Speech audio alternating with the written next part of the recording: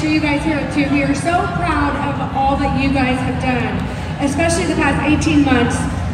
All that you have overcome of the mask and no mask, indoor, outdoor, quarantine, not quarantine, and the spirit really showed today. Game day was amazing, and it was so great to see you guys in person. So congratulations for being here and for making it to finals, and you guys really shined today. So one more big applause for all these athletes. A big hand to your coaches and your parents and family and friends for giving you here.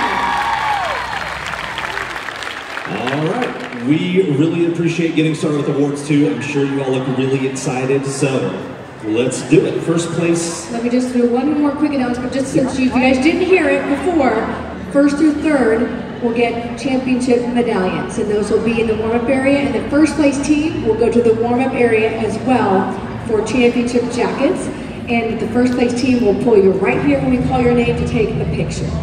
Okay? Remember all that. Perfect, now go ahead. And your scores and rankings emailed to you when this is over because it would sort of be anticlimactic if we sent to you before the awards. So. Here we go, starting with 10th place. Let's hear it for McAllen Memorial High School from McAllen, Texas.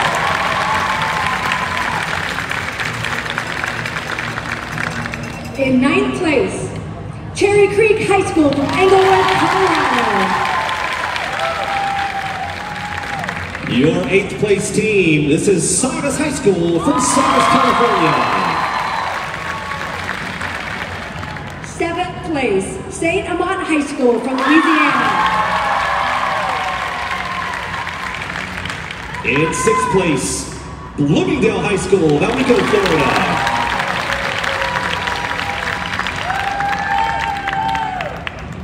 Down to the top five large varsity game day. From Mississippi, Kossuth High School.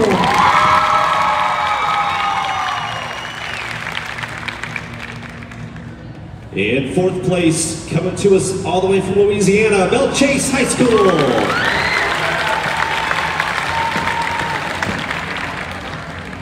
In third place, a bronze medalist, Alma High School.